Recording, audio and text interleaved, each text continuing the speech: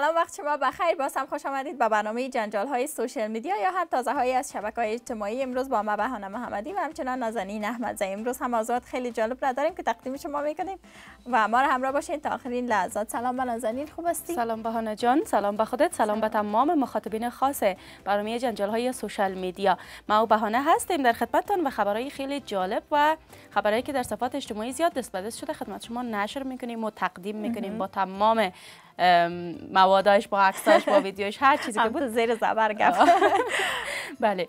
در آغاز بهانه جان بریم پکیجی که آماده کردیم برای کسی که کامنت مانده بود گفته بود که پکیج باید در مورد باغ چلستون باشه که مجددا فکر کنم بهانه جان ایمار شده بله. و بسیار, مقبول امو طرح و دیزاینش هست اما با هم می‌بینیم و میشنویم دوباره. ما خدمت شما هستیم.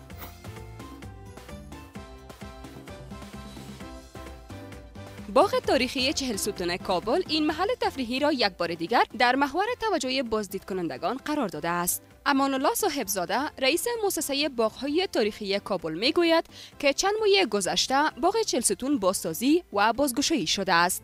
بیش از 75 هزار نفر از این محل دیدن کردند. علاوه بر ایجاد فضای سبز، چایخانه ها، غرفه های عرضه مواد خوراکی، محل برای ورزش و سایر امکانات نیز به باغ چلستون افزوده شده است. قصر ستون پس از دو دهه ویرانی همراه با باغ آن بازسازی شده است و آماده پذیرایی از شهروندان کشور است. این قصر همراه با باغ آن بر گستره 60 جریب زمین در منطقه ستون کابل موقعیت دارد.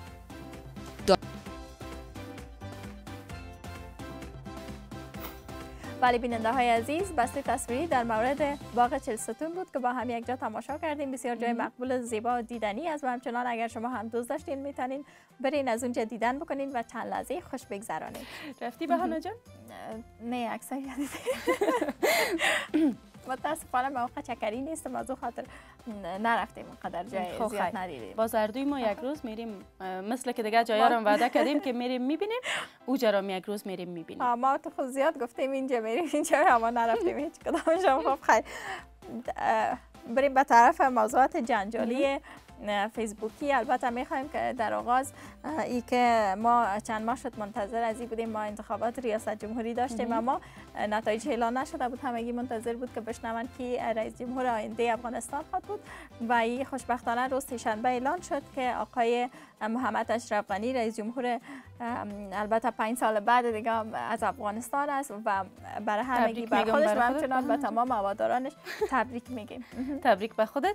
تبریک برای کمرمین عزیز ما که نمی‌فهمم میال درباره کدام خصوصیاتش زیاد فکر می‌کنه که بسیارم تو خنده به لبش آمده و زیاد خوش است. دیگه آرزوی موفقیت برش می‌کنیم. بعد جن انشالله که بتانه اما آتش بله. بس دائمی رو در افغانستان برقرار بکنه بله و بله. یک دوره ریاست جمهوری خوب در کل داشته باشه. خب بهنه جان ایوانکا ترامپ دختر ترامپ یا هم مشاورش بگوییم رفت و در ابوظبی از یک مسجد به نام شیخ ساید دیدن کرد با لباس کاملا اسلامی و گفت که با وجود که من, در کشور اسلامی زندگی نمی کنم اما من به مسجد و به تمام عقاید و باورهای اسلامی باور دارم و من بسیار خوش دارم و رفت بالاخره او مسجد از نزدیک دیدن کرد تصاویر شما است دوستان می‌تونن ببینن. خیلی خوب. و بسیار مورد تشویق قرار گرفت بهانه جان. برش کامنت های رنگ و رنگ مانده شد و بسیار سپورت شد و گفتن که یعنی امو اجاب اسلامی که پوشیده اجابی که مراحت کرده بسیار نمودش میده بله. و خوب از به نظر ما همیشه کسایی که از خارج از کشور میان حتی افغانستان ما شاید از هستیم که مثل که ما حجاب می‌کنیم حداقل اما چادری را که میپوشیم همیشه به سر دارن یعنی بله. با وجودی که شاید قسم در فضای یعنی خارج از کشور کلان شدن و بسیار راحت بی چادر می‌تونن بگردن اما بله. وقتی اینجا میان همو اصول و قوانینی که ما در این مملکت داریم تمام از رو البته مراعات می‌کنن و این بله. بسیار خوب است و او قسم که وقتی رفتم از هم این احترام گذاشتنش به دین اسلام نشان می‌داد که بله. اجاب کرده بود خب موضوع جالب دیگه می‌خوایم که البته چند روز پیش یک هفته پیش تقریبا بگوییم که روز عاشقا بود و ما برنامه ویژه هم داشتیم در بله. برنامه و در شبکه های اجتماعی هم بسیار مردم بعضی ها ابراز علاقه کرده بودن به یکی دیگه و یکی از داستان های جالب که یک دختری به نام خدا خموش البته در صفحه فیسبوک خود هم روز عاشقا تمام احساسات خود را بیان کرده بود نسبت به یک فرد البته مورد علاقه کسی که دوست داشته. و او پسرم به نام جسور بود و وقتی که این دختر خانم تمام امو محبت خود ابراز کرد و گفت که من با وجودی که ما در یک جامعه مرد سالاری زندگی می‌کنیم اما بازم من تو یعنی پیشنهاد خود را کردم. اما منتظر بود که چی جوابی از سوی از این بچه خود دریافت کرد. و بعد از یک هفته تقریبا اون بچه هم بسیار شوکر شده بوده و گفته خودش که یعنی هیچی بود پتن در روبری ما اما باز خوشبختانه تا جایی که خبر داریم اونا هم قبول کردن. اما پیشنهاد دختره و همو جسارتش البته قدر کردن. به خاطر از اینکه هر کس جرأت از این نداره که گپ دل خود بره به جانب مقابل بگوید. باز هم یک دختر بره با بچه بگوید خیلی مشکل باز هم قسم که موضوع تماما همو social media را بگویم. قصه جسور بود که. بله بسیار جالب بود. بسیار زیاد. بله.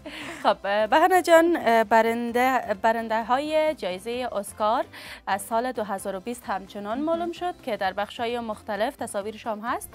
دوستا ببینین در بخش های مختلف در بخش direct در بخش طراحی در بخش نویسندگی در بخش پرودیوسری در تمام بخش های یک یک نفر انتخاب شد از بین چند کاندیدی که بودن و بهترین فیلم سال فیلم پارازیت شناخته شد که این فیلم گفته بودن که اولین فیلمی است که یعنی مکمل داستان یک انگلیس دایی گنجانیدن و هیچ نوع از دیگه مملکت نی دیگه جای ثبت شده و نی هم رسم و رواج یعنی خلاصه در کل یک فیلم انگلیسی است. بله. و بهترین جایزه فیلم هم از آن خود کرد و در پایان گفتن که یک محفل در کل خوب بود و از هر بخش یک یک برنده داشتن در سال 2020 اما دیگه از افغانستان نبود کسی بله. خوب خیر. بله نازنین و البته یک موضوع بسیار جنجالی و موضوعی که بسیار ناراحت کننده است به تمام علاقمندهای منچستر سیتی البته که اونا محروم شدن به خاطر از اینکه همین قوانین مالیشان را نقض کرده بودن. از خاطر از بازی کردن در لیگ قهرمانان اروپا محروم شدن که لیگ قهرمانان اروپا هم یکی از بزرگترین لیگ است که همه تیما علاقمندی به ای دارن که برند او لیگ البته بازی بکنن. اما متاسفانه اینا محروم شدن و همچنان گفته شده که تقریبا سی میلیون یورو هم باید جریمه بپردازن. و این بسیار پول زیاد هم است نقص زیاد است و بسیار بله. گپ جگر خون کننده برشان است. بله. ولی صبر خب کوشش دارن که یعنی از این محرومیتی که هست اونا پس دوباره خود را یعنی شامل لیگ بسازن و کار کنن. سر از این که محرومیتشان از بین بره. خب بهانه جان ما یک خبر ورزشی دارم. به خاطر که سیال که سیال پس بانه باز خوبش نمیاد. همیشه همیشه که ما برنامه داشته باشیم باز زیادتر وقت موضوعات ما شبیه هم برای بله. اگر چیز خبرم نمی باشیم چند دقیقه به برنامه میمونه خبر میشیم اما بازم ما خبر آماده می داشته باشیم با خاطر میگیم کمی خبرها یک بار یک دیگه ما سرپرایز شویم بهانه جان من حس ششم هم فعال است از خود.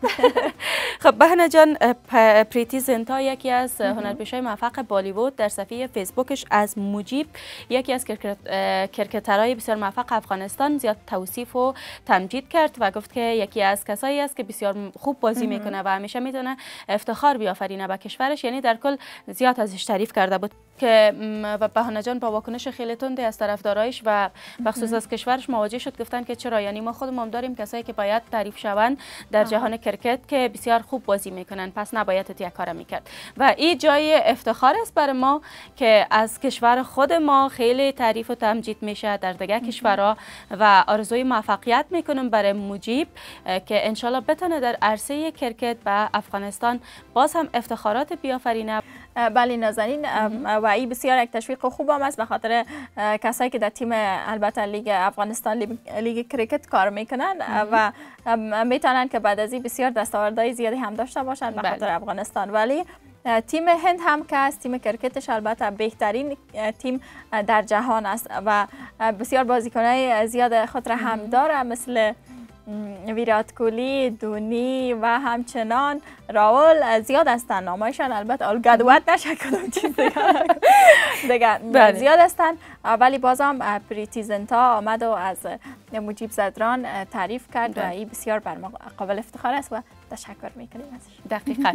خب تشکر از تمام کسایی که بیننده برنامه جنجال های social media بودین. به خاطر دیدن برنامه های بیشتر و بعدی channel یوتیوب ما را subscribe بکنین. اوقات لحظات خوش به همه می‌خوایم. بله بود برنامه ما برای این هفته و تا هفته بعد که باز هم در خدمت شما قرار می‌گیریم. channel یوتیوب شبکه جهانی آریانا را subscribe بکنین برنامه های ما را دیدن بکنین. خدا نگهدارتان.